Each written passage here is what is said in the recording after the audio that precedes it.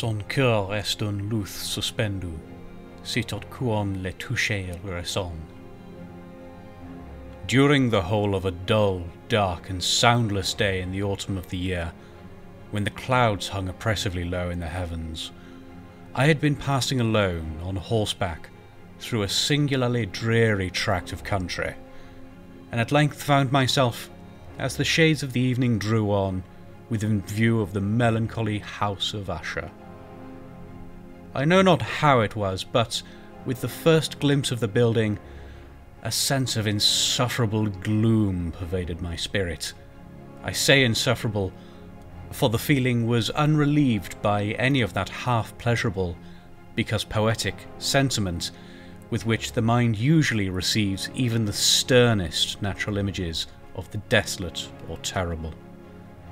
I looked upon the scene before me, upon the mere house and the simple landscape features of the domain, upon the bleak walls, upon the vacant eye-like windows, upon a few rank sedges, and upon a few white trunks of decayed trees, with an utter depression of soul which I can compare to no earthly sensation more properly than to the after dream of the reveller upon opium, the bitter lapse into everyday life, the hideous dropping off of the veil. There was an iciness, a sinking, a sickening of the heart, an unredeemed dreariness of thought which no goading of the imagination could torture into aught of the sublime. What was it, I paused to think, what was it that so unnerved me in the contemplation of the house of Usher? It was a mystery all insoluble, nor could I grapple with the shadowy fancies that crowded upon me as I pondered.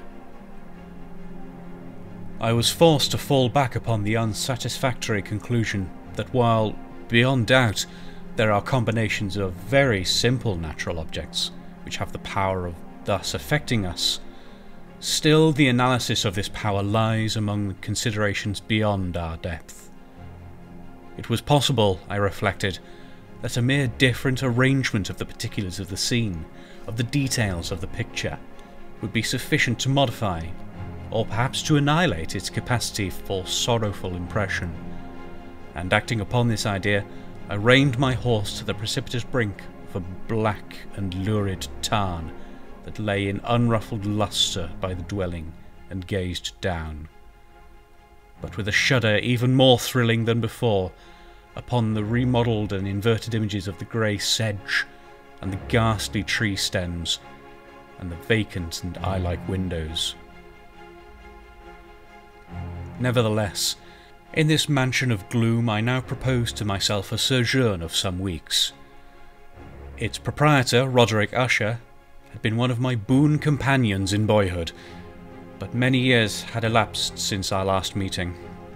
A letter, however, had lately reached me in a distant part of the country, a letter from him, which, in its wildly importunate nature, had admitted of no other than a personal reply.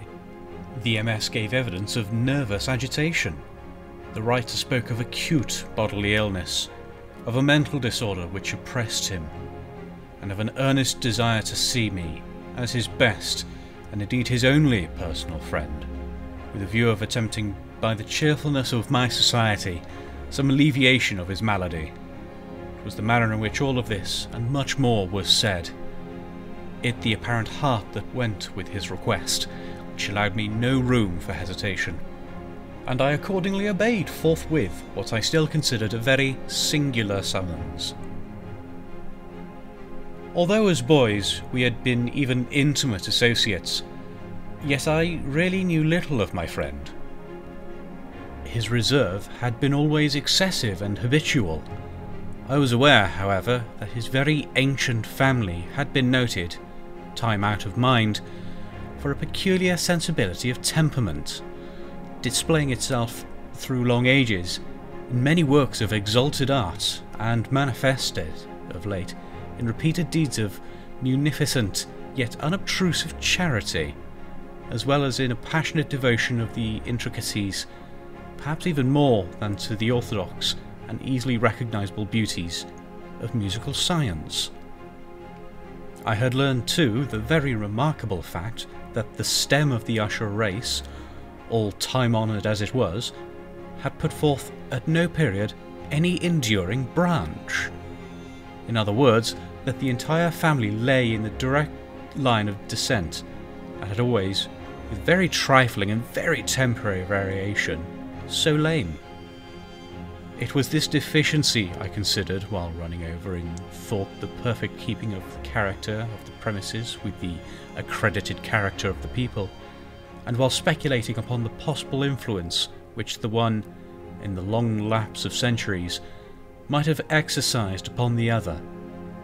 It was this deficiency, perhaps, of collateral issue and the consequent undeviating transmission, from sire to son, of the patrimony with the name, which had, at length, so identified the two as to merge the original title of the estate in the quaint and equivocal appellation of the House of Usher, an appellation which seemed to include, in the minds of the peasantry who used it, both the family and the family mansion.